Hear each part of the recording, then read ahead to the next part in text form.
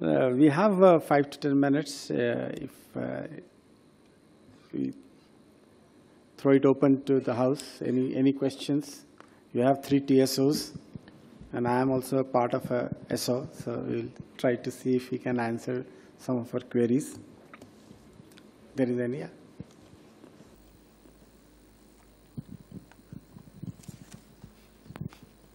Hello, I am Kaushik Das from Technical University of Denmark. Uh, I, I would like to thank all the presenters for a very nice presentation. My question is for uh, to Mr. Sharma from ERCOT.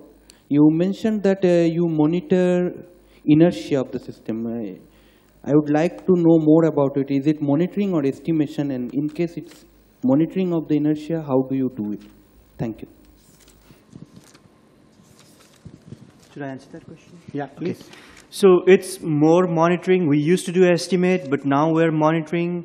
We're monitoring the system of it. When I say monitoring, what I mean is we are looking at every generator, synchronous generator that's online, and we're calculating how much inertia that synchronous generator is contributing to the grid, and we're aggregating it and saying at this instant we have this much of inertia.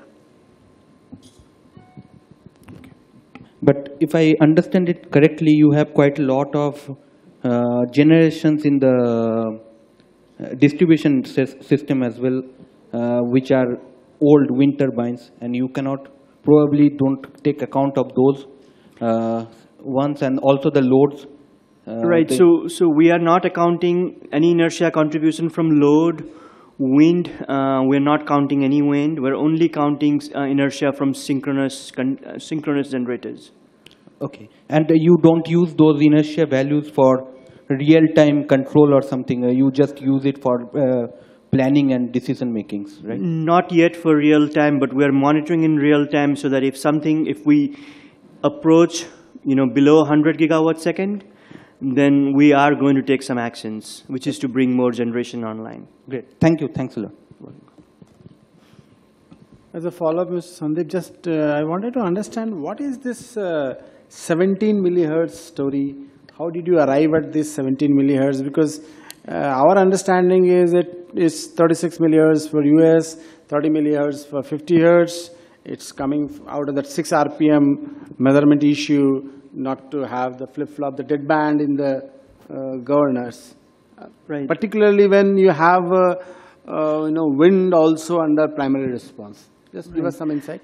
So prior to us, you know, settling on 17, or it is, it is 16.66 millihertz or 1 RPM deadband, we had 36 millihertz deadband as a requirement.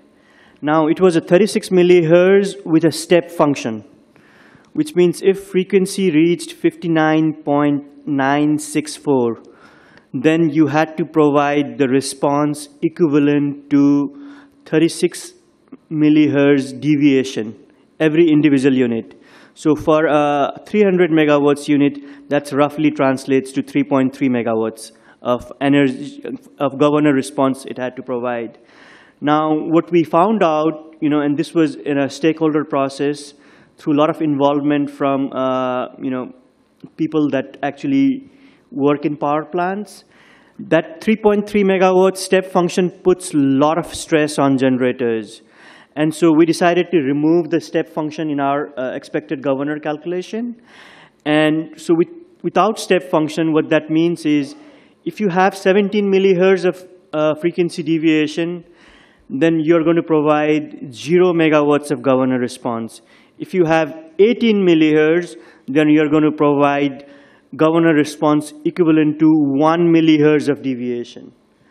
And that's where the step function and the non-step function response led to, you know, uh, agreement on 17 millihertz as a dead band. So it actually reduced the expected governor response on generators, and it also reduced the, by removing the step function, it put less stress on generators.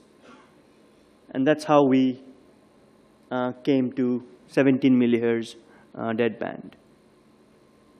So, so then, of course, ERCOT being connected with asynchronous with the rest of the grid, so you could do 17 millihertz, but what happens to other interconnects? Have they also followed suit for this uh, or any other TSOs would like to give an input on this? Uh, sounds very nice because instead of step function of 3 megawatt jump, let's have the slope. So 17 millihertz makes sense. Why was earlier 36 and now why 17? And if it is 17 in, in ERCOT, why others are not following is my logical next question. Right, so, so there is a lot of, I mean, when we did the 17, there was, a there, there were a lot of generators that said actually we could do zero. Okay. Why not zero? And then why 17? And the reason we don't want the generators to be at zero or the generators don't want to be at zero is because they're constantly moving. So we don't want them to be constantly mo- moving. And another thing is in ERCOT, we have a governor response requirement for every generator. And so when everybody is at 17 millihertz, then you know the system is more stable around 17 millihertz, so everybody ends up doing less. And that was the argument. Now, other uh, ISOs or other interconnection within North America, I mean, they recently issued a guideline with 36 millihertz. And, you know, it's more important for ERCOT, the primary frequency response, because of its island nature. I don't think it's, it holds the same uh, importance for Eastern interconnection, which is about 10 times larger than ERCOT, and WECC, which is again really large. And so from that perspective, you know, frequency control is really important for us. And we wanted to, you know, tighten our group setting and deadband and have a better uh, balancing control. Similar experience with 50 hertz or?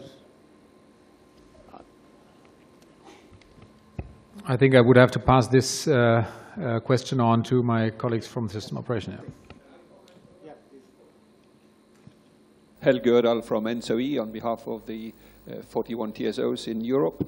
Uh, we are currently discussing that in the five synchronous uh, zones in, in, uh, in Europe. Uh, the outcome is heading towards zero deadband and only uh, the numbers of uh, millihertz for insensitivity. So wh- whatever point you are, yes, you have some uh, leeway, but no deliberate uh, deadband is where things are heading in Europe for the new European network codes. Thank you. Thank you. Yeah. Thank you. This is Anup Singh from Indian Institute of Technology, Kanpur. Uh, This question is to any one of the speakers. Uh, Do we have now sufficient data available from the um, EV charging behavior? Is it possible for now to comment that uh, what will be the potential impact uh, at the grid looking at, because at least in Europe uh, now, I think uh, Netherlands has already committed that they will have only EVs after, I think, 2030 or something and I think it's Norway also has a similar thing.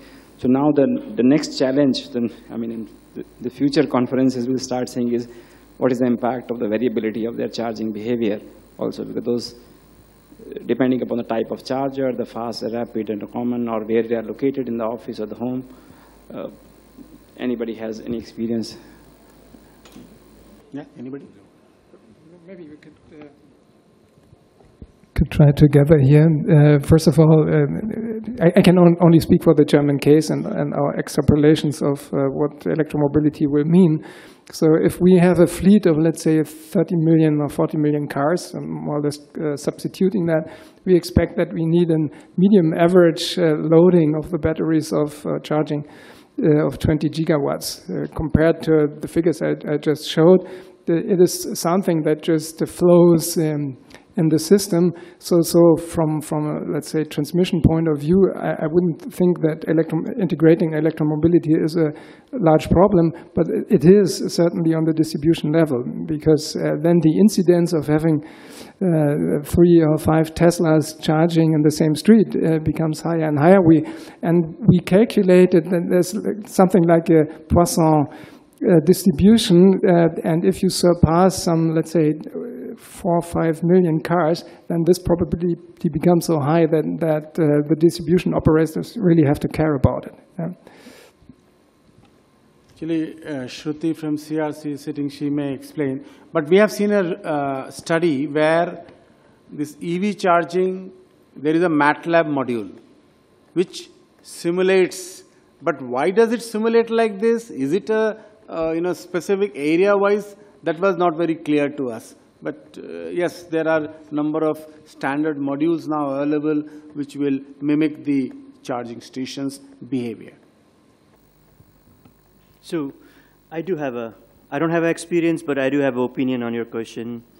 And so my opinion is, you know, generally in Texas or in US, most of the electricity rate for consumers are based on fixed price. And with fixed price, you don't have a lot of incentive on when you charge your you know, EV because you're going to be, paying the fixed price. But at some point, you know, to hedge the risk, the load serving entities will, you know, start providing uh, time of usage uh, charges. With that, what you'll see is, you know, the EVs will be charging during the off-peak hours, and then during the peak hours, as the prices are high, they will not be charging. At least that's my opinion. Perhaps a short uh, adder.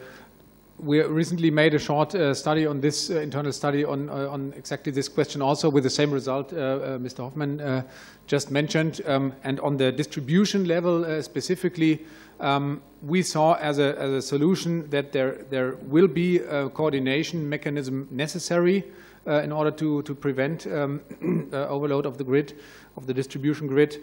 Um, with an open answer who should uh, uh, do this, who should uh, make the coordination, but most probably it makes sense that the, uh, the DSO takes over this role, so the uh, load will then be uh, kind of, um, or there has to have to be incentives that the um, electric vehicles can be switched off by the grid operator, which, for example, can be incentivized by lower grid fees.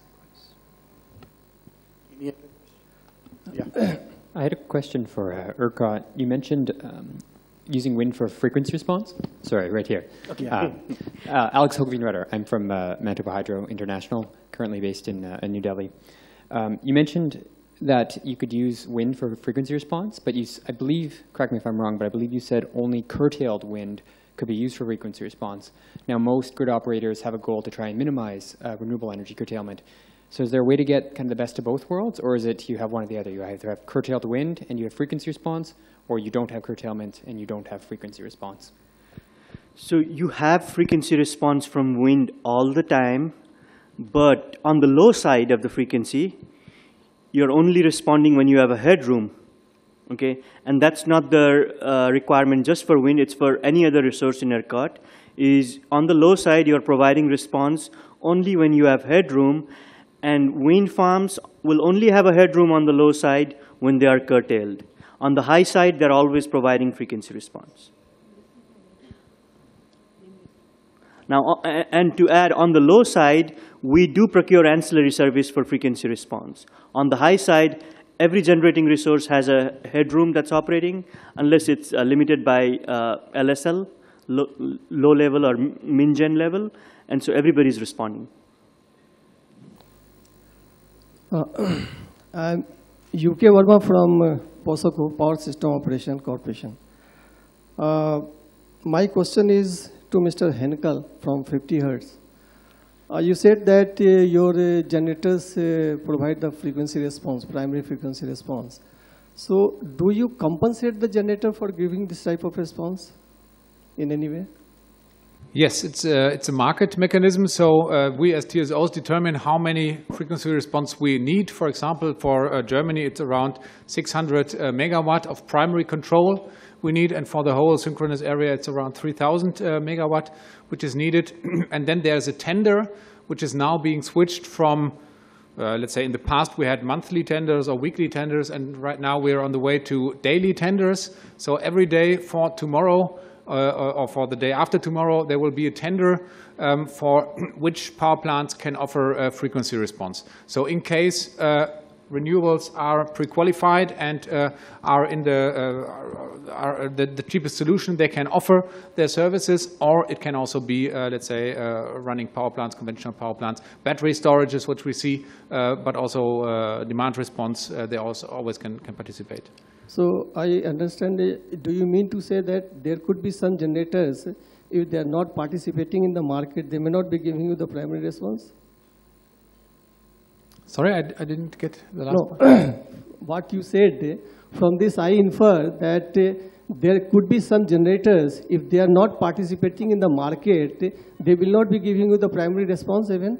Yes, exactly. So they're not forced to participate. They're forced to be able by the, by the grid code. They must be able technically to uh, provide uh, primary, but it's, it's an economical uh, incentive um, which, is, which is given uh, in order to offer this, uh, this product, and the plant operator can decide whether he wants to do this or not. It's quite a, let's say, quite a high economic uh, incentive because primary control is something valuable. We've seen, we see prices of 2,000, 3,000 uh, euros per megawatt per week in the uh, currently uh, uh, tender, in the current tenders. Um, Yeah, this is quite attractive, and uh, we have learned uh, in the past two years that it's even uh, sufficient in order to finance uh, battery storages and uh, let battery storages uh, provide um, uh, primary control. Thank you. Thank you. Thank you, everyone. And with this, we come to the end of uh, this session. Thank you, all the panelists. Thank you, audience. We break for tea for 20 minutes. That brings us back at 1710. 1710 or 1715, somewhere in between. Okay, thank you.